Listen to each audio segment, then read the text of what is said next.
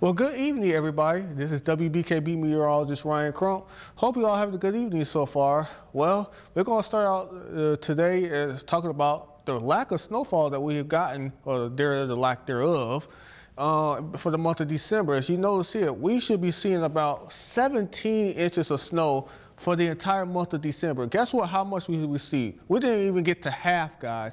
We only saw five inches of snow for the entire month, which is well below average for this time for, for the month of December. 12 inches to be exactly, guys. So again, if you like the warmer temperatures and the lack of snow, well, this was the month for you. This was the second warmest month on record. This is going back to records of 1916, guys, 1916. And guess what? 34.5 degrees was our average high temperature for the whole month. Only 2015 was the warmest, was warmer, and that was at 36.5 degrees. So yes, it was definitely warm. It was still above average for your day today in Alpena, a high temperature of 37 degrees. Now, we did drop down to 16 a little bit earlier this morning, thanks to some clearing that we had in the, for, in the area, because again, clouds began to increase as we went throughout the afternoon hours.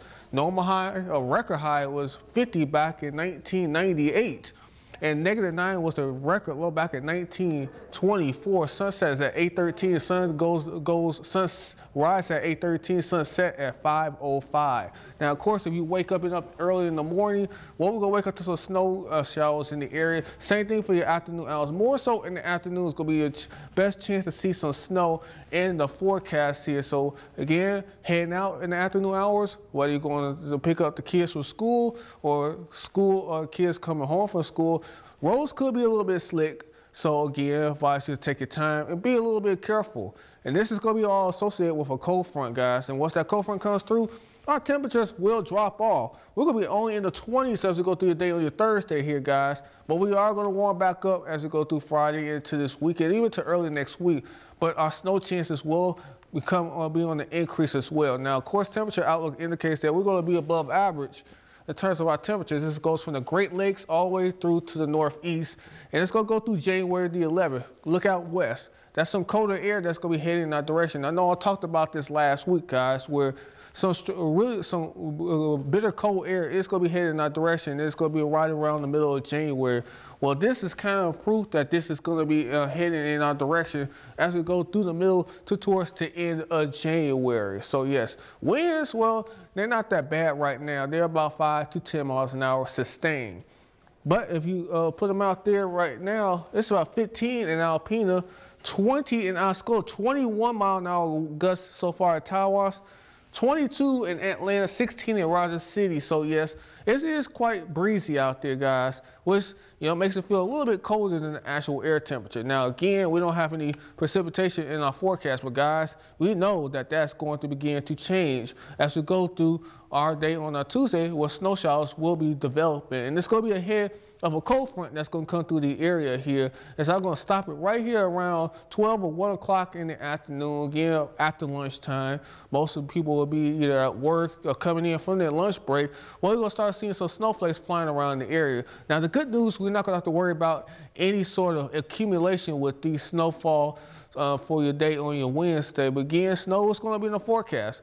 Then Thursday and Friday, we dry out. And of course, as we go through your Friday, we will begin to see clouds increase ahead of more snow for this weekend, which I'll show you in a seven day forecast.